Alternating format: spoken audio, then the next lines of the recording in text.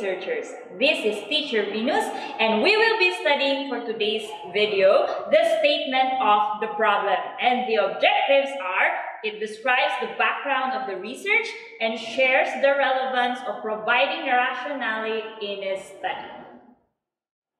Alright, once you have identified your research problem, you have to write it down and communicate it. This is what we call the statement of the problem. Usually, the statement of the problem is found in the introduction of a research paper. And we will be discussing the parts of the statement of the problem. We have the research problem and the research questions. So first, we will discuss the research problem. The research problem is the general statement of your paper. This is uh, written in a paragraph form. It is, uh, it is usually written in declarative sentence. For the research questions, this is a specific statement. Okay? It's specific. Ibig sabihin, klaro siya. And it must be in line it must be coherent with your research problem. It is stated in an interrogative sentence. See the example that will be shown in yours.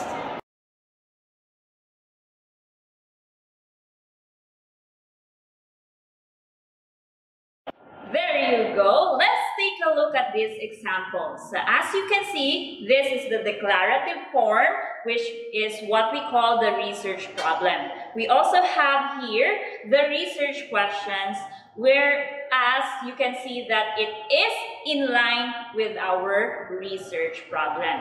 So in research, may problema ka. So kung wala kang problema, malaking problema yan. At this point, let's distinguish the common types of research questions. First is we have the descriptive research question. Basically, you are to describe the uh, particular characteristics of persons, groups, institutions, or phenomena. For this question, you can start with the question, how many, how much, how frequent, what percentage, and what time. So let's take a look at this example.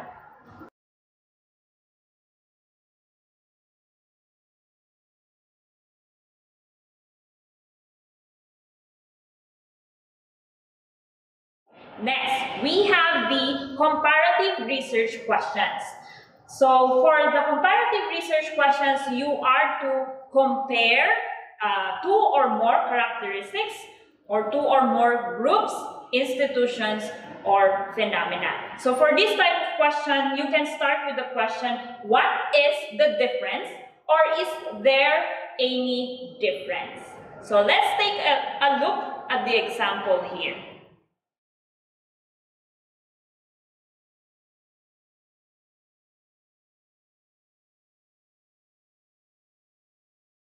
Lastly, we have the relational research question. So, typically, this type of question uh, seeks to establish and um, understand the relationship between two or more groups, um, institutions, phenomena, or groups. You can start with the question, what is the relationship? Any relationship?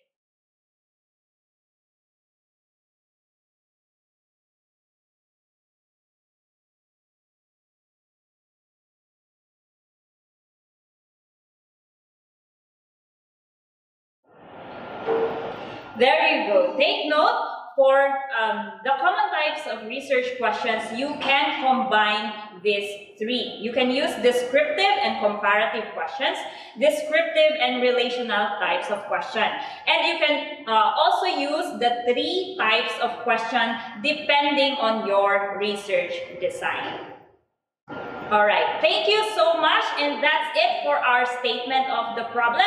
We were able to discuss the parts of the statement of the problem, the research questions, and the types of research questions. So I hope and pray that you'll be able to write your problem very well. So once again, this is Mom V from UCC Research Department and we provide excellence, service, and integrity.